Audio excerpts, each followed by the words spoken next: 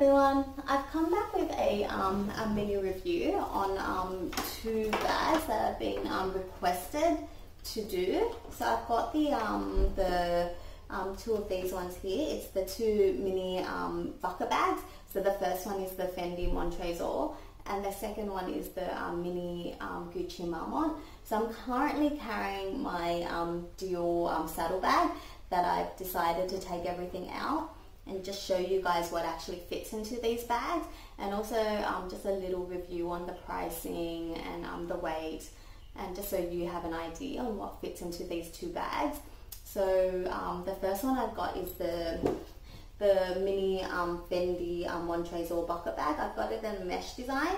I actually got this on sale on my Teresa for a really good price.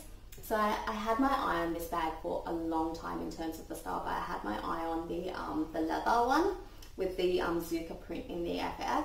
But because this one went on sale, so I was like, oh, it was such a good price to let go. So it was, I think, 14, 1,495 Australian dollars. I think they're usually over $2,000 AUD, but I got that one on sale. Um, and then the second one I um, wanted to show you guys was the Gucci Marmont.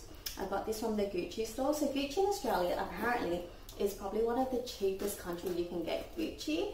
So this one I got from the Gucci store for 1,295 I think. I got this um, last year just before I went um, on my holidays.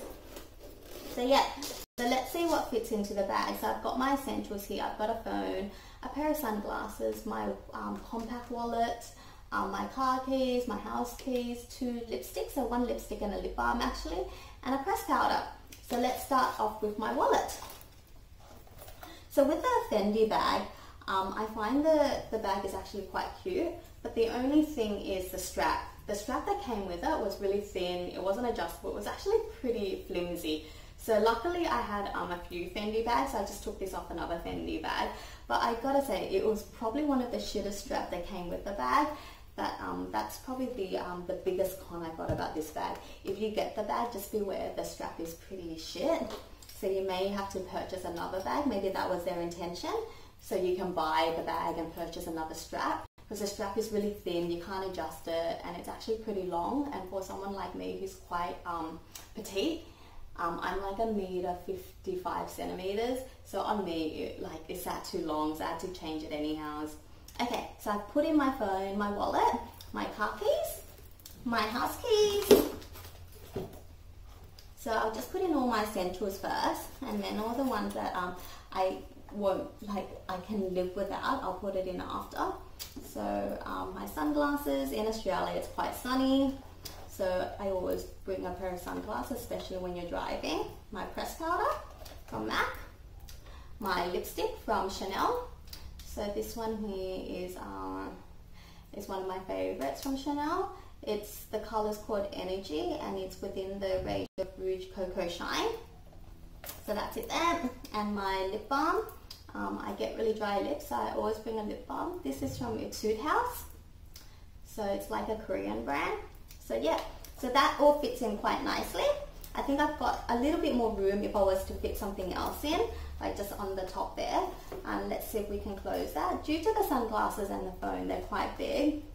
So um, if I close it, they're still like, you can still see it, but you can still close the bag. So it fits quite nicely in the Mon Tresor. In terms of weight, the bag's actually quite light, but after putting everything in, of course, it's going to be a lot heavier. So the bag I was carrying was a Dior um, saddle bag. So I've just taken um, all my essentials out of that just to show you guys what fits into this bag. And let's start with the Gucci bag. I'll just take everything out again and just show you guys in um, the same way as what I did with the Fendi bag. So yeah, so that's a Fendi bag there. Now let's move aside to the Gucci bag. The good thing about the Gucci bag is the strap. So when the SA told me um, it comes with a chain strap, and usually chain straps aren't that comfortable, but this one here is actually quite comfortable, I find. It did not dig into my shoulders. And the other thing is, even though it's a chain strap, what the SA told me was you can actually tie knots to adjust it to whatever length you want, and that's what I did. I tied um, knots to adjust it to the length I want, and it sits really nice on my shoulder. I usually don't wear this crossbody, I wear it on my shoulders, so it sits just along my hips there. So that's it there. And let's start with the same order again. My wallet, my car key, uh, my house key, sorry, my car keys, my phone. This is just an old phone I've got just to show you guys actually what fits into the bag.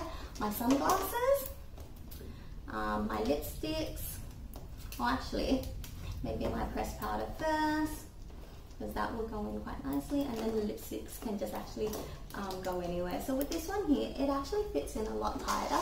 I've actually got no more room to fit inside there. So I think the Fendi Hazel is a little bit bigger. So you can probably fit like another like lipstick or something in there. But yeah, so that's the um, Fendi um, Gucci Marmont bag.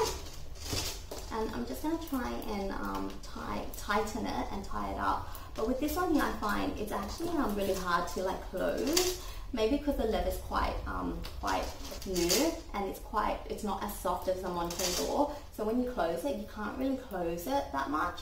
So I think that's the maximum you can do in terms of closure. But um, I'm still in love with the um, Gucci Marmont. A lot of people are over the GGs. They said maybe this year, so many people are over the double Gs in the in the Marmont style. But I don't care what people think. I love it personally and I'll still keep wearing it. I still own my Gucci belt. It's probably one of my most comfortable belts I wear.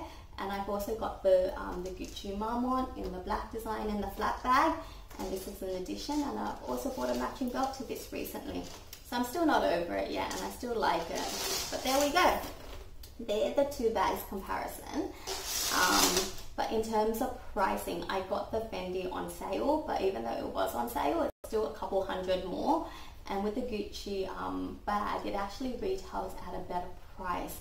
So if you're thinking of a, um, a reasonable price bag that um, is also, um, if you want a mini bucket bag, maybe the Gucci Marmont. I don't know how much it is in your countries, but in Australia, Gucci is actually um, one of the like I think Gucci in Australia is cheaper compared to any other countries in the world.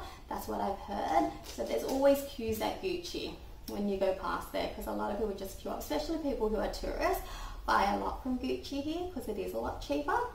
But yeah, so yeah, so they're my two comparisons. If you enjoyed this video, please like um, my video and thank you for watching guys. Bye!